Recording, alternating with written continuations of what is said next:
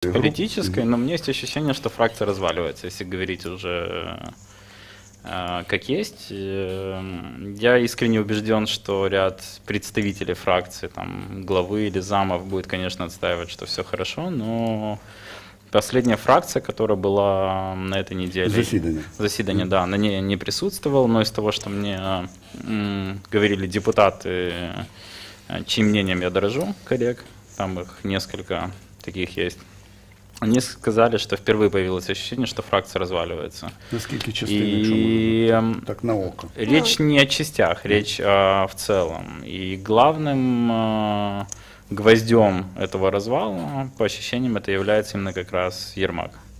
Потому что если, ну, мы не переходим на личности, там, что я не говорю ни в коем случае, что там Богдан был хороший или кто-то, но была какая-то целостность, когда диалог был между фракцией и офисом президента, когда какие-то совместные решения принимались, то в данном случае вот все уже видят, даже люди, которые, э, казалось бы, на стороне Ермака должны быть, они, в принципе, объективно уже видят ситуацию, что все разваливается.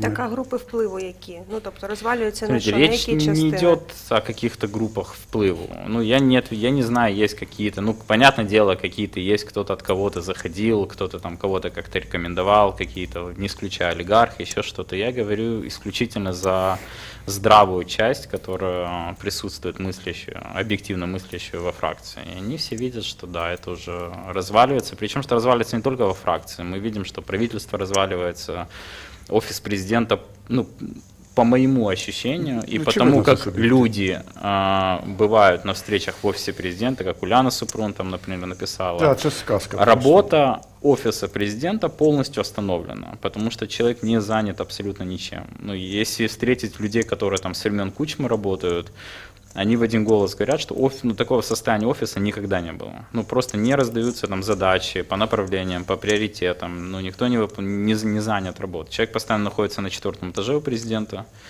У него в приемной собираются десятки людей, которым он назначил встречи каждые 20 минут. Ермака. У Ермака, да.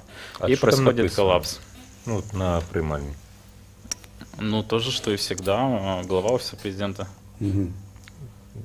Ну, до этого Ну, не администрация. секретарка ж.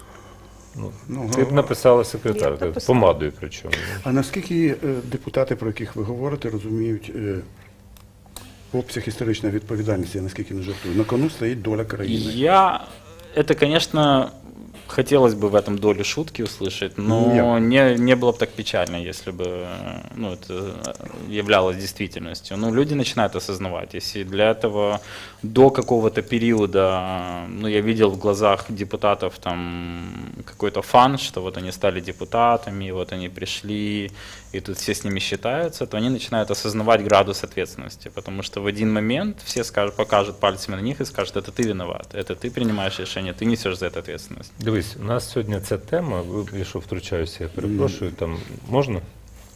П'ять копійок, я хоча обіцяв наприкінці клигати, тим не менше. Е, Ця тема дуже серйозна, це правда. Це можна жартувати безкінечно стосовно іпостасії Богдана. Е, Це, це все спадщина від попередніх навіть і президентів. От, ця от посада мало зрозуміла, керівник адміністрації, офісу, секретаріату, це, це все неважливо насправді.